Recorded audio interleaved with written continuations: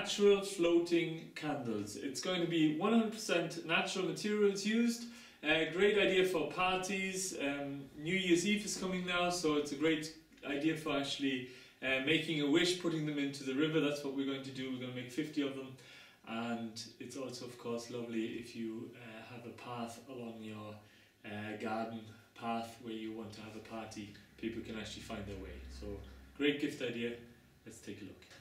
Now, step number one, we're going to cut uh, these nectarines totally in half.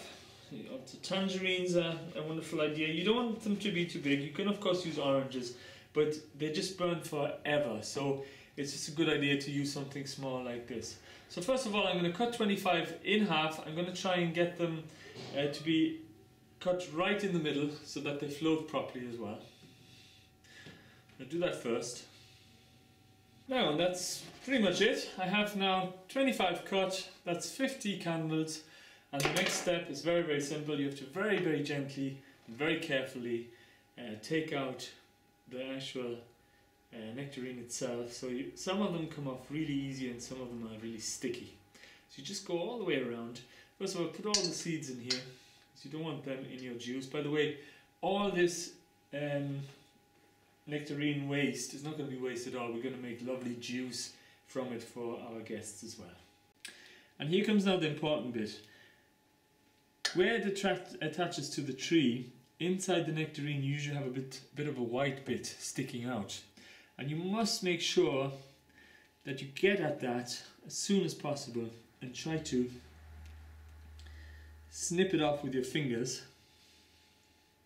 because if you leave a hole in there what's going to happen is later on when we fill in the, the oil, the hard oil, especially when we're going to warm up the oil, there's going to be a hole and all the liquid is going to go out of the bottom. So that's the only bit where you have to watch out. Now, I've done the 50 of them, took about 30 minutes, 35 minutes. Uh, so there's a bit of work involved. Now the next step is going to be to get them just on the cotton wool, uh, natural cotton wool, and then you just make you have to make some wicks. So I'll just show you a close-up of what that looks like as well. You just roll it into a bit of a sausage. It helps if your hands are a little bit wet for this one. And then so you have your wick there. And the next step is you need to make sure that it will actually stand upright as well. So you can actually stand it up inside the, the nectarine half so that's the first part.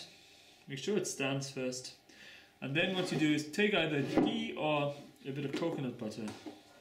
That's what that looks like. And try to stick it down. So just put a bit in there. Now this is going to be a little bit messy. This is normal. What you need to do then is you need to stick it down using the butter so that when you pour in the oil later, the wick doesn't fall over. The next step we need to make sure that this is a little bit more creamy or liquefied so we can actually put it into the candles. It helps that this is already in a tin.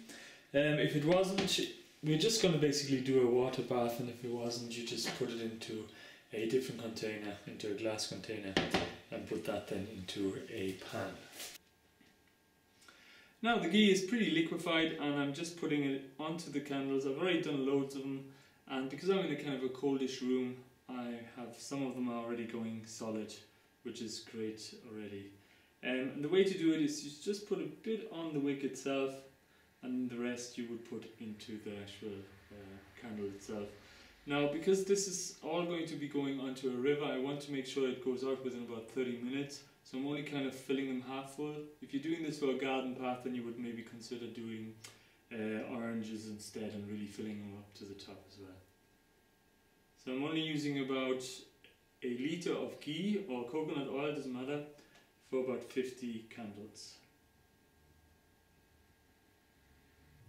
Now I hope you enjoyed the video. Um, perhaps consider sharing it with other people and most of all just have a go at yourself and uh, have a bit of fun with it as well a wonderful idea for occasions, um, making wishes or having these floating candles It's a lovely idea. Now thanks for watching and I shall see you next week.